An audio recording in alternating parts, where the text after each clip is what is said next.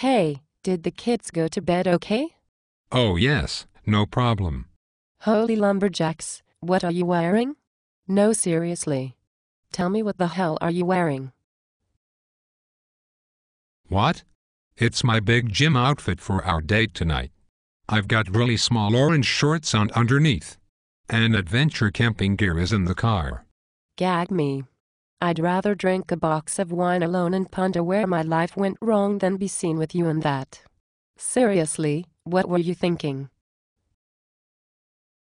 Where is this date anyway? I'll give you a clue. Can you say all you can eat breadsticks and bottomless salad?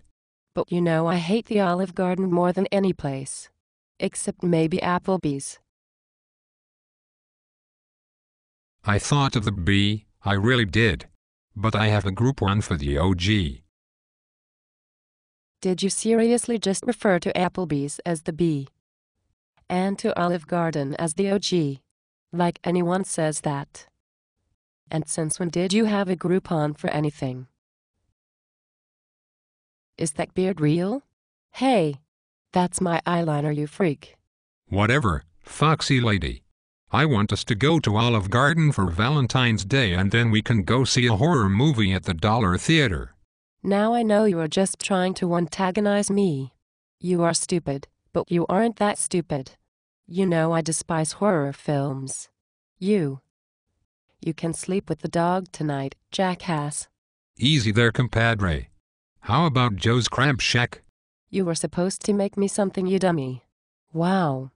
This is the most crappy Valentine's Day yet. Actually, you can sleep with the cat tonight. But I did make you something. I made this ridiculous cartoon. All this other stuff was just to lower your expectations and distract you from the lack of flowers and other more traditional Valentine's trappings. I love you. Happy Valentine's Day. I'll go get changed now.